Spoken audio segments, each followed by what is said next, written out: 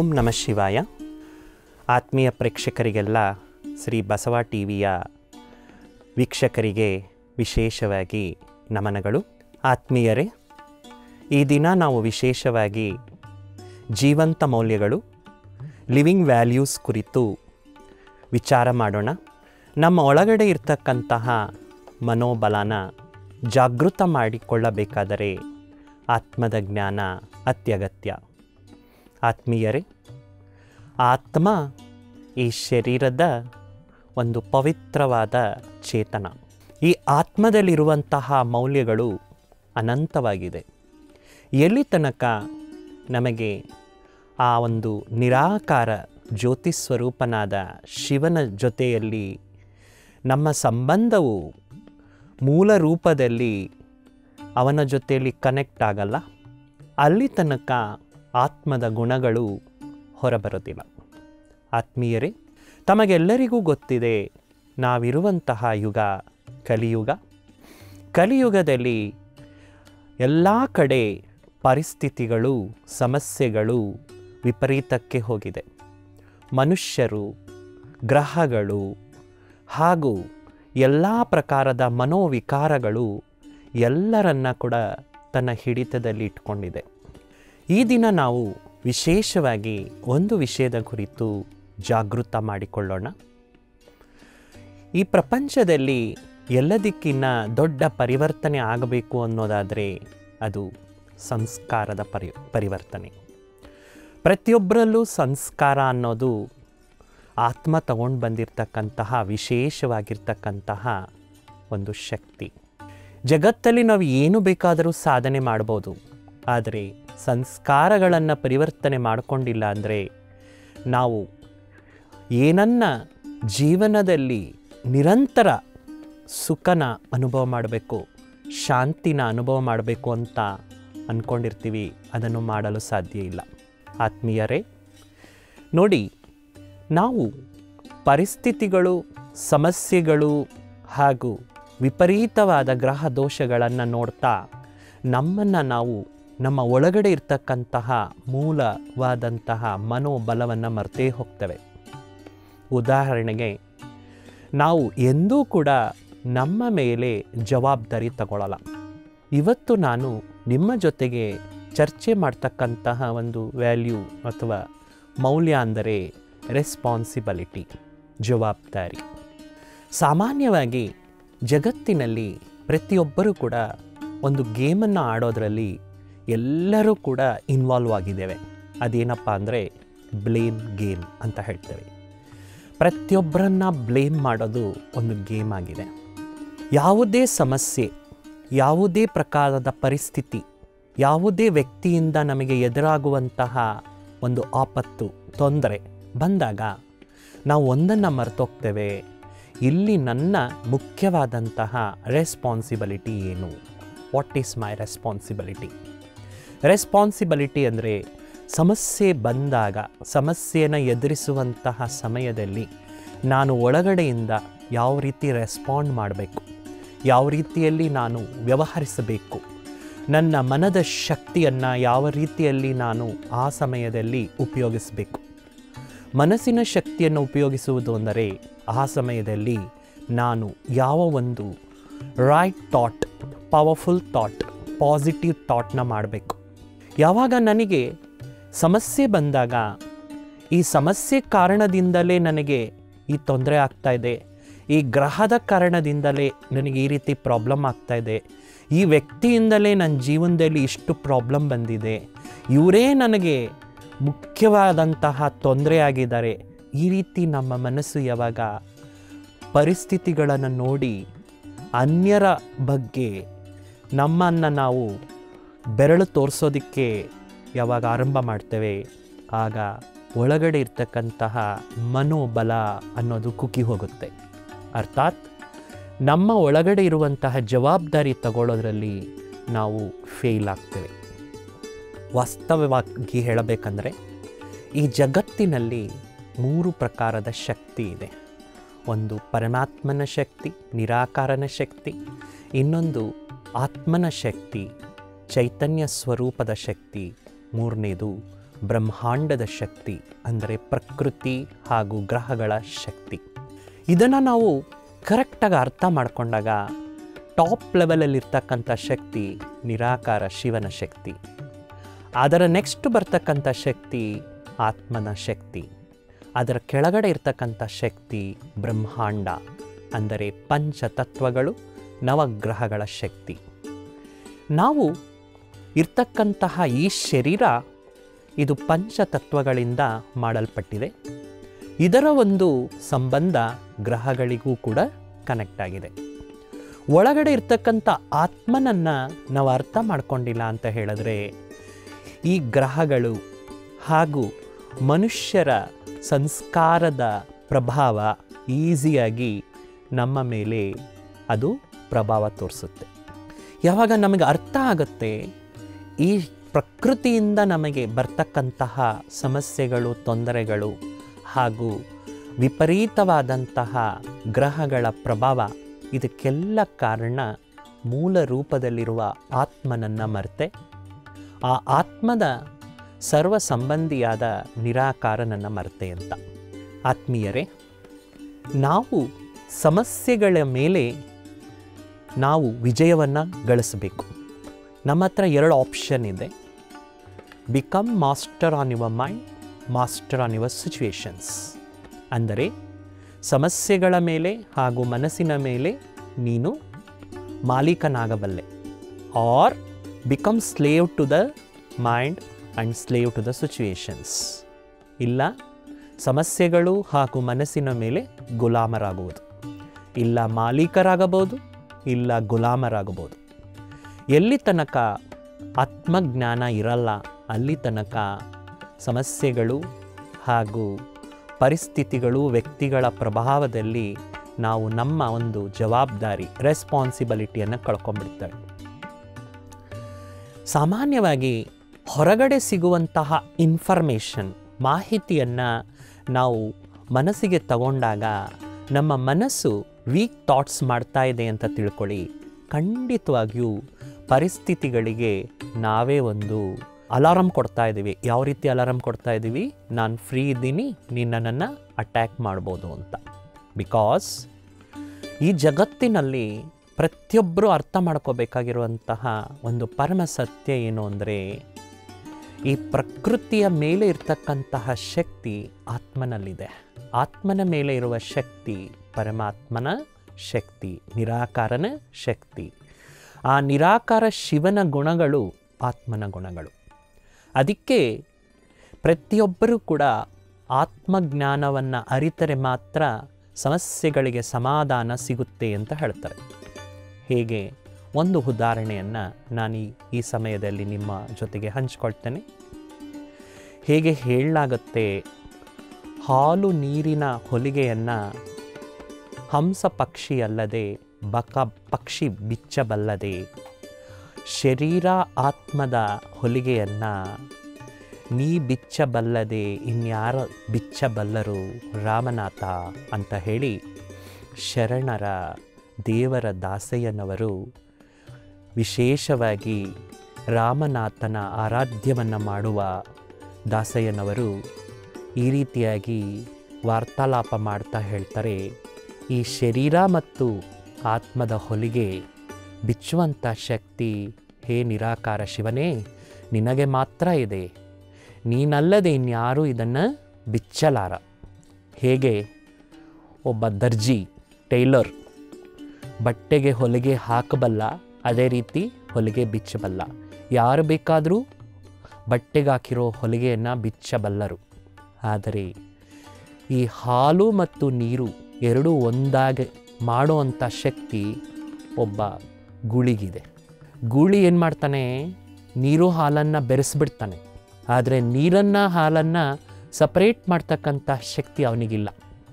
ಆದರೆ ಹಂಸ ಪಕ್ಷಿ ಹಾಲು ನೀರನ್ನು ಬೆರೆಸಿ ಅದರ ಮುಂದೆ ಇಟ್ಟಾಗ ಹಾಲನ್ನು ಮಾತ್ರ ಅದು ಸ್ವೀಕರಿಸಿ ನೀರನ್ನು ಹಾಗೆ ಬಿಡುತ್ತೆ. ಹಾಗೆ ಆತ್ಮೀಯರೇ ನಮ್ಮ ಒಳಗಡೆ ಇರ್ತಕ್ಕಂಥ ಆತ್ಮನ ಅರ್ಥ ಮಾಡಿಕೊಂಡಿಲ್ಲ ಅಂತ ಹೇಳಿದ್ರೆ ಪರಿಸ್ಥಿತಿಗಳ ಪ್ರಭಾವದಲ್ಲಿ ನಾವು ಸಿಲುಕ್ಕೊಳ್ತೇವೆ. ಸಮಸ್ಯೆಗಳಿಗೆ ನಾವು ಯಾವಾಗಲೂ ಕೂಡ ಪರವಶರಾಗೇ ಇರ್ತೇವೆ. ಆತ್ಮನನ್ನು ಅರ್ಥಕೋಬೇಕು ಆತ್ಮ ಅಂತಕ್ಕಂಥದ್ದು ಈ ಶರೀರದಲ್ಲಿರುವಂತಹ ಚೇತನ. ಆ ಆತ್ಮದ ಶಕ್ತಿ ಮನಸ್ಸಿನ ರೂಪದಲ್ಲಿ, ಬುದ್ಧಿಯ ರೂಪದಲ್ಲಿ, ಸಂಸ್ಕಾರದ ರೂಪದಲ್ಲಿ ಹೊರಗಡೆ ಬರುತ್ತೆ. ಇವತ್ತು ಪ್ರತಿಯೊಂದು ಸಮಸ್ಯೆಗೂ ಕೂಡ ಮುಖ್ಯ ಕಾರಣ ಸಂಸ್ಕಾರಗಳಲ್ಲಿ ಪರಿವರ್ತನೆ ಮಾಡಿಕೊಳ್ಳುವ ಜ್ಞಾನವಿಲ್ಲದೆ ಇರೋದು. ಉದಾಹರಣೆಗೆ, ಯಾವುದೇ ಒಂದು ಜಾತಕ, ಯಾವುದೇ ಒಂದು ಹಾರ್ಸ್ಕೋಪ್ನಲ್ಲಾಗಲಿ ಅಥವಾ ಪ್ಲ್ಯಾನೆಟ್ ಸಿಸ್ಟಮ್ನ ಆಧಾರದ ಮೇಲೆ ಕೆಲವರು ಈ ಅಸ್ಟ್ರಾಲಜಿ ತಿಳ್ಕೊಳ್ತಾರೆ, ಜ್ಯೋತಿಷ್ಯನ ತಿಳ್ಕೊಳ್ತಾರೆ. Science numerology, astrology, planetary movements ಇದರೆಲ್ಲದರ ಆಧಾರದ ಮೇಲೆ ಅವರು ಹೇಳ್ತಾ ಇರೋದು ಆ ಮೂಮೆಂಟಿಗೆ ಕರೆಕ್ಟೇ ಇದೆ. It is true as per the present state ಈ ಆತ್ಮ ಕ್ಯಾರಿ ಫಾರ್ವರ್ಡ್ ಮಾಡ್ಕೊಂಡು ಬಂದಿರುತ್ತೆ ಬೇರೆ ಬೇರೆ ಟೈಪ್ ಸಂಸ್ಕಾರಸ್. ಆದರೆ ಆತ್ಮಕ್ಕೆ ಒಂದು ಚಾಯ್ಸ್ ಇರುತ್ತೆ. ಅದು ಯಾವಾಗ ಬೇಕಾದರೂ ತನ್ನ ಸಂಸ್ಕಾರನ ಚೇಂಜ್ ಮಾಡ್ಕೋಬೋದು.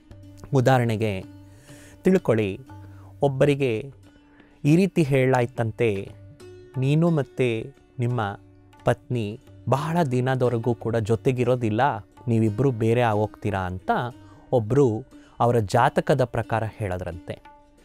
ಆದರೆ ಆ ವ್ಯಕ್ತಿ ಈ ಪ್ರೆಸೆಂಟ್ ಮೂಮೆಂಟ್ಗೆ ಆ ರೀತಿ ಇದೆ, ಆದರೆ ಇದು ಹಿಂದಿನ ಸಂಸ್ಕಾರದ ಮೇಲೆ ಪ್ರಿಡಿಕ್ಷನ್ ಆಗಿ ಇವರು ಹೇಳ್ತಾ ಇದ್ದಾರೆ ನಾವು ವಾಟ್ ಐ ಕ್ಯಾನ್ ಡೂ ಅನ್ನೋದನ್ನು ಅರ್ಥ ಮಾಡಿಕೊಂಡು ಅವರು ಅದನ್ನು ಚಾಲೆಂಜಾಗಿ ತಗೊಂಡು ಬಹಳ ಸಮಯದವರೆಗೂ ಅವರ ಸಂಸ್ಕಾರದ ಮೇಲೆ ವರ್ಕ್ ಮಾಡಿ ಕೊನೆಗೂ ಅವರು ಕೊನೆ ಉಸಿರು ಬಿಡೋವರೆಗೂ ಕೂಡ ಜೊತೆಗೆ ಇದ್ರಂತೆ. ಯಾವುದೇ ರೀತಿಯಲ್ಲಿ ಅವರಿಬ್ಬರ ಮಧ್ಯದಲ್ಲಿ ಆ ಒಂದು ಡೈವರ್ಸ್ ಆಗಲಿಲ್ಲ.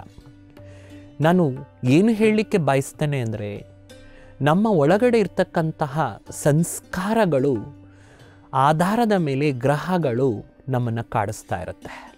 ನಾವು ಸಂಸ್ಕಾರವನ್ನು ಪರಿವರ್ತನೆ ಮಾಡ್ಕೊಂಡು ಬಿಟ್ಟಾಗ ಆ ಗ್ರಹಗಳ ಎಫೆಕ್ಟು ನಮ್ಮೊಳಗೆ ಏನೂ ಮಾಡೋಕ್ಕಾಗಲ್ಲ. ಪ್ರತಿ ಪರಿಸ್ಥಿತಿಯಲ್ಲೂ ಕೂಡ ನಮಗೊಂದು ಅವಕಾಶ ಇದೆ ಚಾಯ್ಸ್ ಇದೆ. What right thought I can create ನಾನು ಯಾವ ಒಂದು ಆಲೋಚನೆಯನ್ನು ಆ ಮೊಮೆಂಟಲ್ಲಿ ಮಾಡಿದಾಗ ನಾನು ನನ್ನ ಸಂಸ್ಕಾರದ ಪ್ರಭಾವದಿಂದ ಬೇರೆ ಇರಬಹುದು.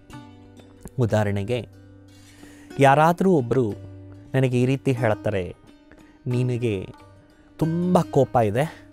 ನೀನು ಇನ್ನು ಆರು ತಿಂಗಳು ಚಿಕ್ಕ ಚಿಕ್ಕ ವಿಷಯದಲ್ಲೂ ಕೂಡ ಕೋಪ ಮಾಡ್ಕೊಳ್ತೀಯ? ಅಂತ ನನ್ನ ಒಂದು ಜಾತಕ ಅಥವಾ ನನ್ನ ಒಂದು ಗ್ರಹದ ಆಧಾರದ ಮೇಲೆ ನನಗೆ ಸಿಕ್ಕಿರ್ತಕ್ಕಂಥ ಮಾಹಿತಿ.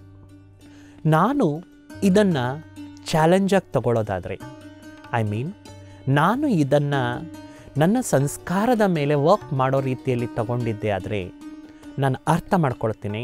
ಇಟ್ಸ್ ಓಕೆ ನನ್ನ ಒಂದು ಪೂರ್ವದ ಸಂಸ್ಕಾರದ ಆಧಾರದ ಮೇಲೆ ನನ್ನ ಒಂದು ಪಾಸ್ಟ್ ಕ್ಯಾರಿ ಸಂಸ್ಕಾರದ ಆಧಾರದ ಮೇಲೆ ನನ್ನ ಒಂದು ಈ ಆರ್ಸ್ಕೋಪ್ ಅಥವಾ ಈ ಒಂದು ಜಾತಕ ಹೇಳ್ತಾ ಇದೆ, ನನ್ನೊಳಗಡೆ ಕೋಪ ಜಾಸ್ತಿ ಇದೆ. Now what I should do ನಾನು ನನ್ನ ಮನೋಬಲನ ಯಾವ ರೀತಿಯಲ್ಲಿ ಈಗ ಹೆಚ್ಚಿಸ್ಕೋಬೇಕು? Now I work on my ಸಂಸ್ಕಾರ ನಾನು ನನ್ನ ಸಂಸ್ಕಾರದ ಮೇಲೆ ವರ್ಕ್ ಮಾಡ್ತೇನೆ. ಸಂಸ್ಕಾರದ ಮೇಲೆ ವರ್ಕ್ ಮಾಡ್ಕೋಬೇಕಂದ್ರೆ ಅದಕ್ಕೆ ಸೋರ್ಸ್ ಆಗಿದೆ ಆಧ್ಯಾತ್ಮಿಕ ಜ್ಞಾನ. ಆಧ್ಯಾತ್ಮ ಅನ್ನೋದು ಒನ್ ಟೈಪ್ ಆಫ್ ಸೈನ್ಸ್ ಆಧ್ಯಾತ್ಮಿಕ ವಿಜ್ಞಾನ. ಯಾರಿಗೆ ವಿಜ್ಞಾನ ಗೊತ್ತಿದೆ, ಅಂದರೆ ಆಧ್ಯಾತ್ಮಿಕದ ಅರಿವಿದೆ, ಅವರು ಅವರ ಸಂಸ್ಕಾರದ ಮೇಲೆ ದೇ ಕ್ಯಾನ್ ವಿನ್ ಅವರು ಅದರ ಮೇಲೆ ವಿಜಯವನ್ನು ಗಳಿಸ್ಬೋದು. ಅದಕ್ಕೆ ನೋಡಿ, ಎಷ್ಟೋ ವಚನಗಳಾಗಿರ್ಬೋದು, ಆಧ್ಯಾತ್ಮಿಕ ಜ್ಞಾನ ಭಂಡಾರ ಆಗ್ಬೋದು. ನಮಗೆ ಏನನ್ನು ತಿಳಿಸ್ಕೊಡುತ್ತೆ ಅಂದರೆ, ನಿನ್ನ ಮನಸ್ಸಿನ ಮೇಲೆ ನೀನು ಶಕ್ತಿಶಾಲಿಯಾಗೋ. ಯು ಬಿಕೇಮ್ ಪವರ್ಫುಲ್ ಆದರೆ, ಆ ಮನಸ್ಸನ್ನು ಶಕ್ತಿಶಾಲಿ ಮಾಡ್ಕೋಬೇಕಾದ್ರೆ ಆತ್ಮದ ಜ್ಞಾನ ಬಹಳ ಇಂಪಾರ್ಟೆಂಟ್ ಯಾವ ರೀತಿಯಲ್ಲಿ, ನಮಗೆ ಎಲೆಕ್ಟ್ರಿಕ್ ಕರೆಂಟು ಕಾಣೋದಿಲ್ಲ. ಆದರೆ ಲೈಟ್ ಕಾಣುತ್ತೆ. ಹಾಗೆಯೇ ಒಳಗಡೆ ಇರ್ತಕ್ಕಂತಹ ಆತ್ಮ ಕಾಣೋದಿಲ್ಲ, ಆದರೆ ಶರೀರ ಕಾಣುತ್ತೆ. ಈಗ ನಾವು ವರ್ಕ್ ಮಾಡಬೇಕಾಗಿರೋದು ಎಲ್ಲಿ ಅಂದರೆ ಆತ್ಮಿಕ ಶಕ್ತಿಯ ಮೇಲೆ. ಆತ್ಮಿಕ ಶಕ್ತಿಯ ಮೇಲೆ ಅಂದರೆ ಆತ್ಮದ ಒರಿಜಿನಲ್ ಸಂಸ್ಕಾರನ ಹೊರಗಡೆ ತರಬೇಕು.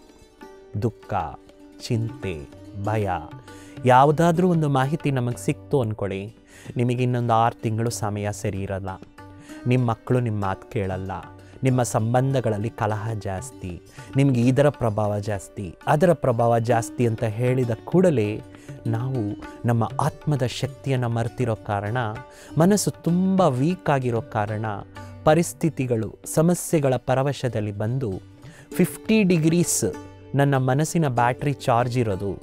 ನಾನು ವೀಕ್ ಥಾಟ್ಸ್ ಮಾಡ್ತಾ ಮಾಡ್ತಾ ಮಾಡ್ತಾ ಮಾಡ್ತಾ ಫಾರ್ಟಿ ಗೊಟ್ಟೋಗುತ್ತೆ. ಅಷ್ಟೊತ್ತಿಗೆ ಇನ್ನೊಂದು ಪರಿಸ್ಥಿತಿ ಬರುತ್ತೆ, ಸಮಸ್ಯೆ ಬರುತ್ತೆ, ತರ್ಟಿ ಗೊಟ್ಟೋಗುತ್ತೆ ಅಷ್ಟೊತ್ತಿಗೆ ಇನ್ನೊಂದು ದೊಡ್ಡ ಸಮಸ್ಯೆ ಬಂದಾಗ ನನ್ನ ಮೈಂಡ್ ಕಂಪ್ಲೀಟ್ ವೀಕ್ ಆಗುತ್ತೆ. ಮೈಂಡು ವೀಕ್ ಆದಾಗ ಅದರ ಪ್ರಭಾವ ಶರೀರದ ಅನಾರೋಗ್ಯದ ಮೇಲೆ, ಅದರ ಸಂಬಂಧಪಟ್ಟಂತಹ ಎಲ್ಲ ರಿಲೇಷನ್ಶಿಪ್ ಸಂಬಂಧಕರ ಮೇಲೆ, ಸಮಾಜದ ಮೇಲೆ ಈ ರೀತಿ ಎಲ್ಲದರ ಮೇಲೂ ಪ್ರಭಾವ ಬೀಳುತ್ತೆ. ನಾವು ಕೇರ್ ತಗೋಬೇಕಾಗಿರೋದು ರೆಸ್ಪಾನ್ಸಿಬಿಲಿಟಿ ತಗೋಬೇಕಾಗಿರೋದು ಎಲ್ಲಿ ಅನ್ನೋದು ಪ್ರಶ್ನೆಯನ್ನು ಹಾಕ್ಕೊಂಡಾಗ ನಾವು ಫಿಸಿಕಲ್ ಲೆವೆಲಲ್ಲಿ ಕಾಣ್ತಕ್ಕಂಥ ಸಮಸ್ಯೆಗಳನ್ನು ಕಂಟ್ರೋಲ್ ಮಾಡೋಕ್ಕಂತೂ ನಮ್ಮ ಕೈಯಲ್ಲಾಗಲ್ಲ ನಮ್ಮ ಹತ್ರ ಇರ್ತಕ್ಕಂಥದ್ದು ಒಂದೇ ಮನೋಬಲ. ಅಲ್ಲಿ ನಾವು ರೆಸ್ಪಾನ್ಸಿಬಿಲಿಟಿ ತಗೋಬೇಕು. ನಮ್ಮ ಜೀವನದಲ್ಲಿ ನಾವು ರೆಸ್ಪಾನ್ಸಿಬಿಲಿಟಿ ನಿಭಾಯಿಸೋದ್ರಲ್ಲಿ ಎಲ್ಲ ರೀತಿಯಲ್ಲೂ ಕೂಡ ಕೇರ್ ತಗೊಳ್ತವೆ. ನಾನು ಮಕ್ಕಳನ್ನು ಚೆನ್ನಾಗಿ ನೋಡ್ಕೋಬೇಕು. ನನ್ನ ಫ್ಯಾಮಿಲಿಗೆ ಏನು ಕುಂದು ಕೊರತೆ ಇಲ್ದಂಗೆ ನೋಡ್ಕೋಬೇಕು.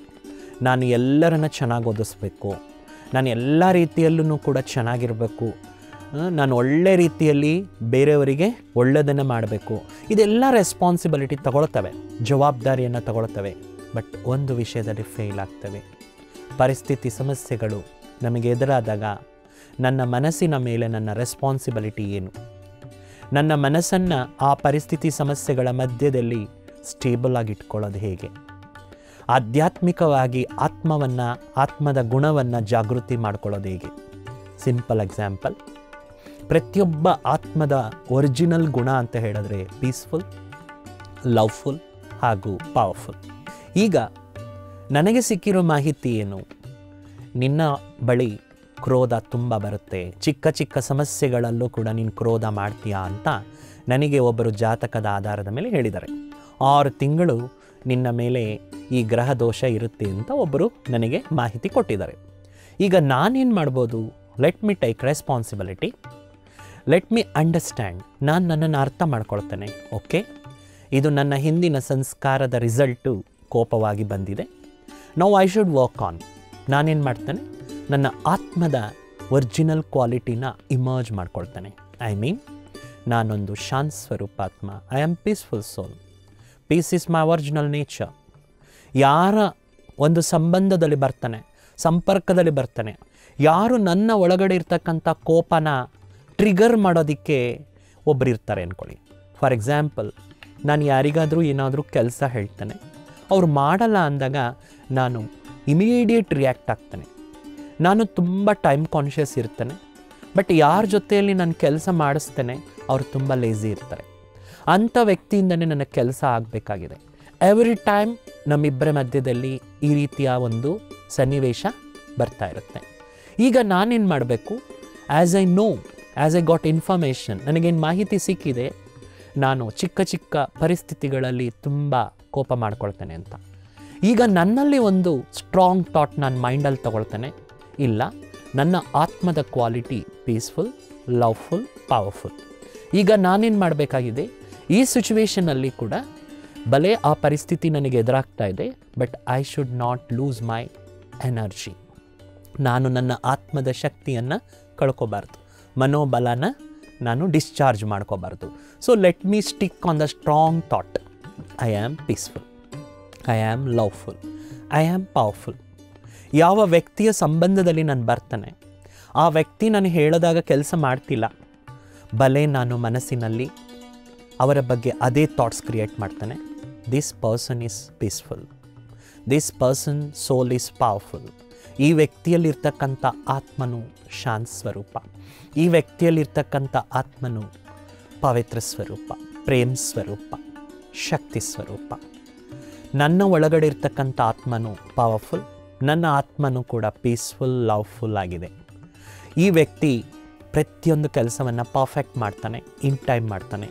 ಈ ರೀತಿ ನಾವು ಮನಸ್ಸಿನಿಂದ ಒಳಗಡೆ ನಮ್ಮ ಆತ್ಮದ ಶಕ್ತಿಯನ್ನು ರೇಡಿಯೇಟ್ ಮಾಡಿದಾಗ, ನಮ್ಮ ಒಳಗಡೆ ಇರ್ತಕ್ಕಂಥ ಆತ್ಮದ ಶಕ್ತಿಯನ್ನು ಜಾಗೃತ ಮಾಡಿದಾಗ, ಆ ಮೊಮೆಂಟಲ್ಲಿ ಆ ಸಿಚುವೇಶನ್ಸಲ್ಲಿ ವೀಕ್ ಥಾಟ್ಸ್ ಮಾಡಿದೆ ನೆಗೆಟಿವ್ ಥಾಟ್ಸ್ ಮಾಡದೆ, ನನ್ನ ಒರಿಜಿನಲ್ ಕ್ವಾಲಿಟೀಸ್ನ ಮಾತ್ರ, ನನ್ನ ಮೂಲ ಗುಣಗಳನ್ನು ಮಾತ್ರ ನಾನು ಚಿಂತನೆ ಮಾಡಿದಾಗ, ಯಾವ ವ್ಯಕ್ತಿಯಿಂದ ಏನು ಕೆಲಸ ಆಗಬೇಕಾಗಿದೆಯೋ, ಆ ಕೆಲಸ ಆಗುವುದರಲ್ಲಿ ವ್ಯತ್ಯಾಸ ಇದ್ದರೂ ಕೂಡ ನಾನು ಕೋಪದಲ್ಲಿ ಬರೋದಿಲ್ಲ.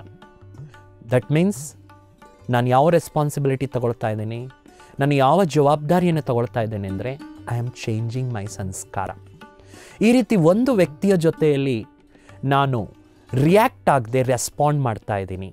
ನಾನು ಅವರ ಜೊತೆಯಲ್ಲಿ ಯಾವುದೇ ರೀತಿಯಲ್ಲಿ ಕೋಪದಲ್ಲಿ ಬರದೆ, ಆವೇಶದಲ್ಲಿ ಬರದೆ ನನ್ನ ಸ್ಟೆಬಿಲಿಟಿ ಕಾಪಾಡ್ಕೊಳ್ತಿದ್ದೀನಿ ಅಂದರೆ ವಾಟ್ ವಿಲ್ ಹ್ಯಾಪನ್ ನನ್ನ ಮನಸ್ಸಿನ ಆತ್ಮದ ಬ್ಯಾಟ್ರಿ ಫಿಫ್ಟಿ ಪರ್ಸೆಂಟ್ ಇರೋದು it will rise up to sixty percent ಒಬ್ಬರ ಜೊತೆಯಲ್ಲಿ ನನಗೆ ಸಂಸ್ಕಾರ ಅಡ್ಜಸ್ಟ್ ಮಾಡ್ಕೊಳಕ್ಕೆ ಬಂತು ಅಂದರೆ again I will become ready to face another person and another situation ಈ ರೀತಿ ನಾನು ಆರು ತಿಂಗಳಲ್ಲಿ if I started to work on my ಸಂಸ್ಕಾರ, ಆಗ ಯಾವ ಗ್ರಹ, ಯಾವ ದೋಷ, ಯಾವ ಜಾತಕ ಇದೆ, ಅದು ಏನೆಲ್ಲ ಕೂಡ ನನಗೆ ಪ್ರಿಡಿಕ್ಷನ್ ಆಗಿ ಹೇಳಿದೆ, ಅದು ಕೂಡ ನನ್ನನ್ನೇನೂ ಮಾಡೋಕ್ಕಾಗಲ್ಲ.